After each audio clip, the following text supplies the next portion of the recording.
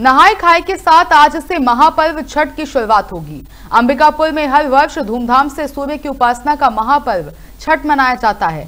नदी और तालाबों के किनारे छठ व्रती महिलाएँ ढलते और रुकते सूर्य को अर्घ देंगी। बता दें कि छठ घाटों पर तैयारियाँ पूरी हो गई हैं। घुनघट्टा नदी के तट पर हज़ारों की संख्या में उम्र की महिलाओं की भीड़ भी दिख रही है। छठ व्रतियों के लिए घुनघट्टा नदी तट पर विशेष तैयारी की गई है।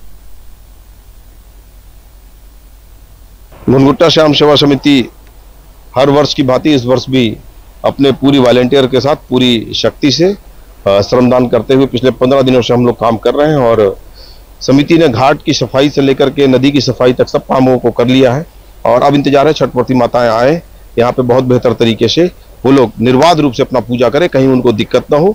हम लोगों ने हर वर्ष की भांति इस वर्ष भी हमने छठ घाट में टोकन सिस्टम रखा है। जिसको लोग पसंद कर रहे हैं। और पिछले साल 1100 सुपला का व्यवस्था था, इस बार 2100 सुपला हम लोग यहाँ पर व्यवस्था दिए हैं कि 2100 छठवर्ती माताएँ भी अपने परिवार के साथ आए तो उन्हें कोई दिक्कत न जाए। और 1500-1700 से अधिक कूपन जो है दो तीन जगह से कूपन कटते हैं, कट चुके हैं और अभी भी डिमांड लगातार है तो मेरे को लगता है कि पूरा घाट फुल हो जाएगा। और कुछ और हमने ऐड किया है। श्रद्धालुओं को लगता है कि गुनगुट्टा श्याम सेवा समिति कुछ नया देगी। तो इस बार जो डूबते सूर्य को जिस दिन अर्घ देते हैं, उस दिन पूजा करते हैं, उस दिन शाम को हमने एक बहुत अच्छा या बैंड का आयोजन किया है, जिसमें भक्ति गीत के साथ में उसमें कार्यक्रम होगा, छठवर्ती माताओं के साथ में, और आठ तारीख के सुबह